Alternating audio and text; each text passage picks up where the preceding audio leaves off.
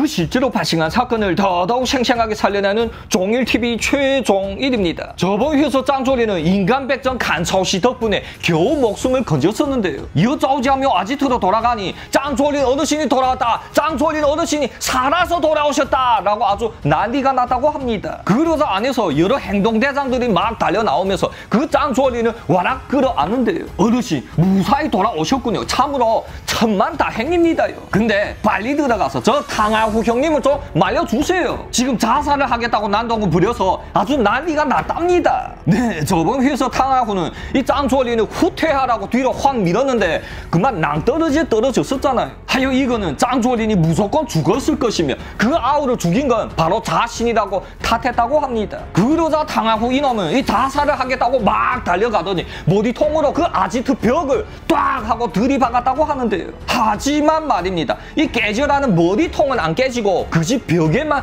금이 갔다고 하는데요. 이어 있던 다른 행동 대장들이 연합하여 겨우 뜯어 말려서 이 끈으로 꽁꽁 묶어둘 수밖에 없었다고 합니다. 이어 짱조린이 아지트 안으로 들어가자 네, 이 엎드려져 묶여있는 탕알후는 급사 올가미에 걸린 한 마리 호랑이 같았다고 하는데요. 에헤, 이게 뭡니까 이게? 에? 왜 우리 탕알후 형님을 밧줄로 묶은 거요? 빨리빨리 풀어주세요.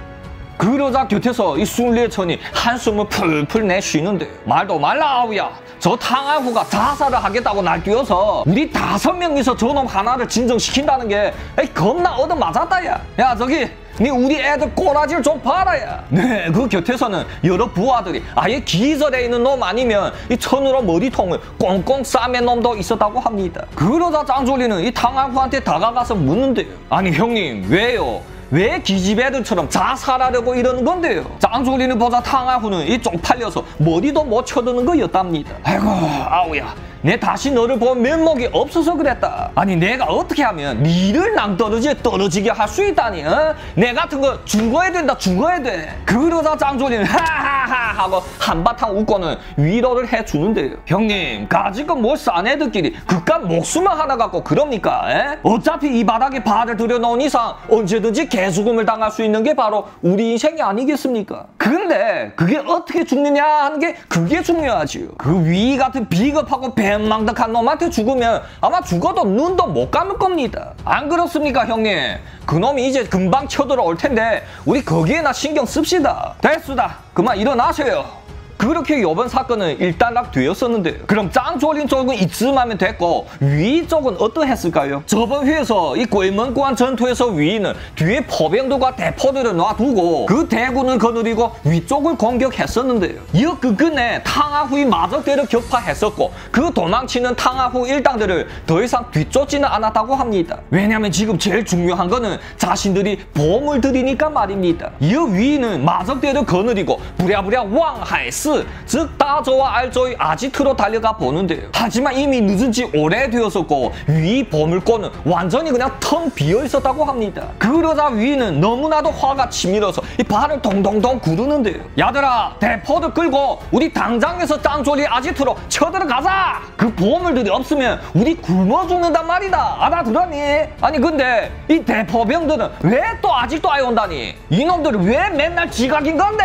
빡쳐나 위는 이 대 군을 거느리고 다시 괭문과 아래로 내려다 보는데요. 하지만 하지만 말입니다. 그곳에 도착하자 위와 그의 마적대들은 너무나도 놀라서 다들 털썩 주저앉는데요. 그들 주위에는 이 수백 구의 대가리가 없는 시체들이 너부러져 있었기 때문인데요. 저번 회에서 간차오시 마적대가 이 놈들 대가리와 배근을 바꿔 먹겠다고 그 놈들이 대가리를 싹 다 베어갔기 때문이라고 하는데요. 그러한 무서운 광경은 그 어디에서도 구경할 수 없는 공포 그 자체였다고 합니다. 하여 위 마적대들은 이 짱조린 마적대들한테 극대로 되는 공포감을 느끼고 도망을 친 놈들도 그렇게도 많았다고 하는데요. 하지만 그래도 이거는 제일 큰 문제는 아닌데요. 위가 제일 큰 타격을 입은 거는 바로 그 수십 대의 이 불에 활활 타오르는 대포들이었다고 합니다. 그 시대 마적대들 사이에 싸움에서 이 대포는 그야말로 신이었었는데 하지만 지금 위 마적대가 쫄대로 쫄았는데 그 대포마저 없으면 어떻게 나올 수가 있겠습니까?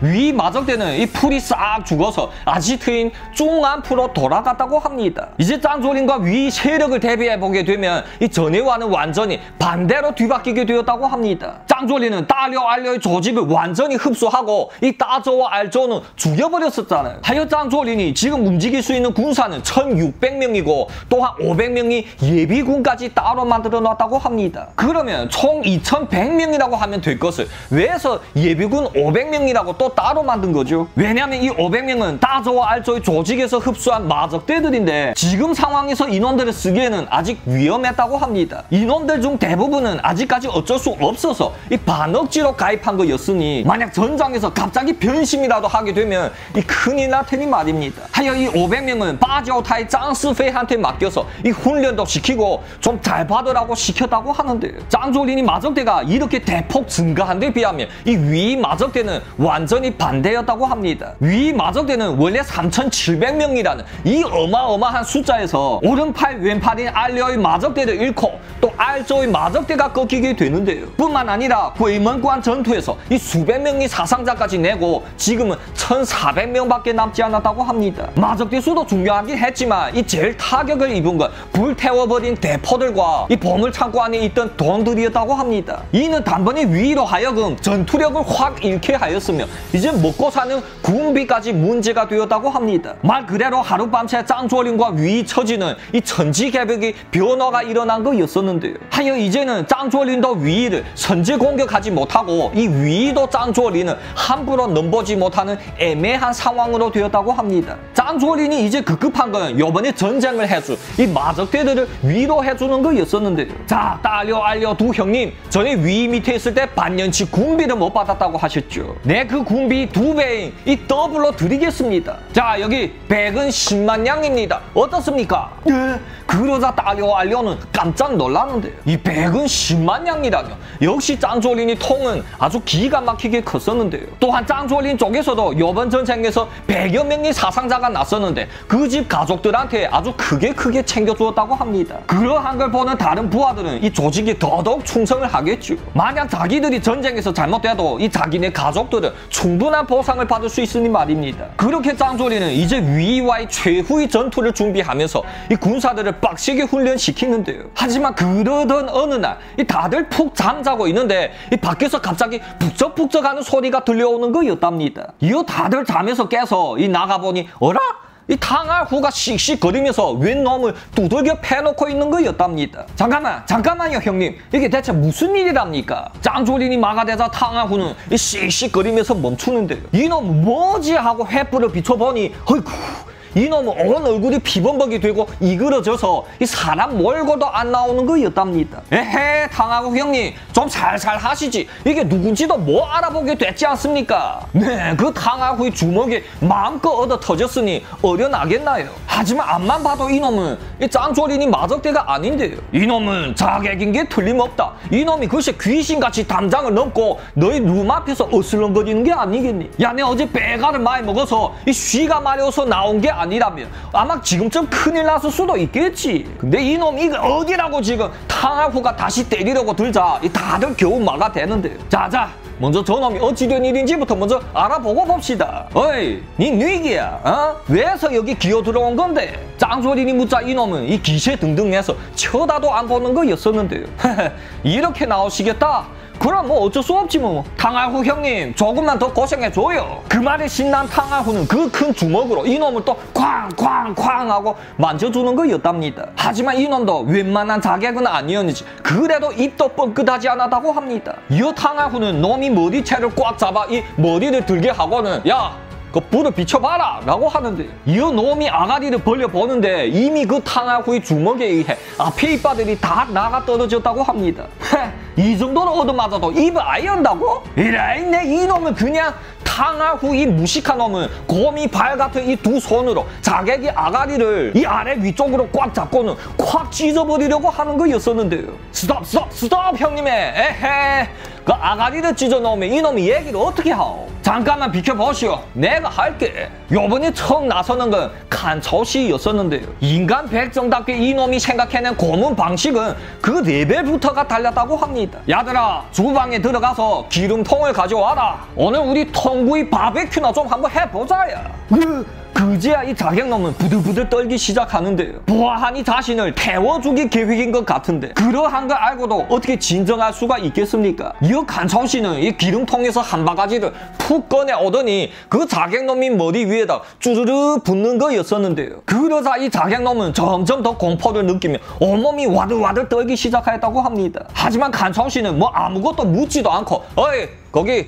횃불을 이리 줘봐라 라고 하는데요. 이어 간청 씨가 이 횃불을 받아주고 척 갖다 대자 얘기하겠습니다. 모두 다 얘기하겠습니다 라고 이 자객놈은 두 손을 번쩍 드는 거였었는데요. 죽음에도 이 한순간에 시원하게 죽는 게 있고 끊임없는 고통에 시달리며 죽는 게 또 따로 있죠. 그 중에서도 이 화형은 제일 지독한 사형 방식이겠는데 그걸 누가 견뎌낼 수 있겠습니까? 저는 중안부 위가 보내서 왔습니다요. 사실 위한테는 지금 제일 큰 위기가 찾아왔거든요. 이놈이 대부분이 돈을 모두 다 따조의 아지트의 왕하이스에다가 보관하였었는데 그게 님들한테 다 털려서 요즘 먹고 살기도 힘들답니다. 밑에 마적대들한테 이 군비도 제대로 못 줘서 군에서 이탈하는 놈들도 계속하여 생겨나거든요. 그리하여 위인은 이 아지트의 보초를 더더욱 강화하고 도망치는 놈들을 잡아서 총살하는 이 방법까지 쓰고는 있는데 얼마나 더 버텨내겠습니까? 밑에 애들이 정 힘들면 군사 정변이라도 일으킬 분위기거든요. 하여 그걸 알게 된 위가 일본 측에 도움을 요청했다고 합니다. 너 이, 일본 쪽에 도움을 요청했다고? 그 얘기를 듣자 짱조리는 갑자기 식은땀이 쫘르르 흐르는데 아 맞다. 여기 일본 놈들이 있었지. 전에 먼저 전쟁을 일으킨 놈들을 가만 아이 놔둔다고 했는데 어쩌지? 짱조리는 그 일본 놈들의 존재를 잊고서 나댄 거였었는데요 그래서 그 일본 놈들이 뭐라고 반응을 하대? 짱조리니 묻자 자객 놈은 계속해서 얘기를 이어가는데요 네 일본 놈들은 마적대들 사이 일이니 자기네가 가운데서 비치기가 쪽팔리다고 대답하였다고 합니다 너네 둘이 일은 너네 둘이 알아서 해라고요. 어? 그러자 이거는 모두의 예상 밖의 대답이었었는데 하지만 사실 자세히 생각해보게 되면 그것도 맞는데 왜냐면 전에 펑링거야 이 러시아 쪽에 찰싹 붙은 놈이라서 일본이 위를 도와서 함께 친 거잖아요. 하지만 짱조리는 이 러시아 쪽에 붙은 놈도 아니고 또한 저번에 군사훈련 때 오라고 하니 고분고분 와줬잖아요. 근데 그러한 짱조리 는 굳이 나서서 없애버릴 필요가 있겠습니까? 자신들한테 같은 태도의 마적대라면 더 능력이 있고 힘이 더 센 마적대가 살아남아서 그 훈리를 함께 도모하는 게 더 좋은 거겠죠. 하지만 이 간사한 일본 놈들은 상상도 못했었는데요. 이 짱조린이 일본 놈들한테 대한 태도는 위와는 완전히 다르다는 사실을요. 또한 나중에 일본 놈들이 앞길을 막는 어마무시한 놈으로 클 텐데 그걸 눈치를 못 챘다고 합니다. 하하하하. 일본 놈들이 상관 안 난다고 했다고? 꼴 좋다 위 이놈아.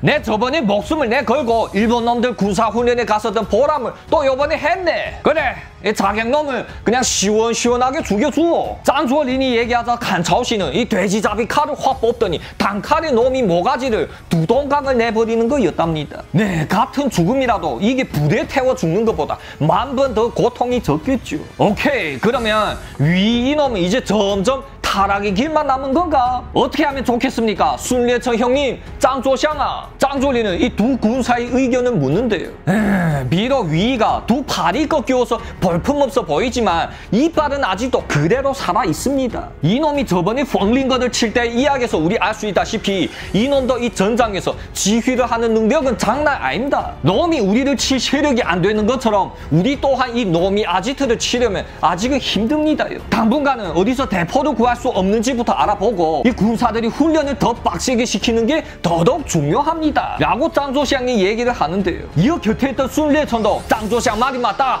그 중안푸라는 성은 이 수십 대의 대포가 없이는 끄떡 없다. 그러니 놈들을 박살내려면 먼저 대포부터 이 대량으로 얻어와야 돼. 라고 하는데요. 음, 두 군사가 다 그렇게 얘기하는데 그러면 맞는 거겠죠. 짱조리는 한쪽으로는 이 군사들을 빡세게 훈련시키면서 또 다른 한쪽으로는 어디서 대포를 구할 수 없나 알아보고 다녔다고 합니다. 필경 지금이 짱조리는 위 재부를 모두 다 차지하여서 돈 하나만큼은 흔해 빠졌거든요. 그렇게 그럭저럭 지나 지내고 있었는데 그러던 어느 날이었습니다. 짱조샹이 두 사내를 데리고 짱조린을 찾아오는데요. 자 어르신 이 두 분은 나의 후배들입니다요. 전에 학당을 다닐 때 면목을 잘 알고 있었던 펑차오 펑춘 두 형제입니다. 그러다 짱조리는 아 그래요? 어서 오세요. 어서 오세요.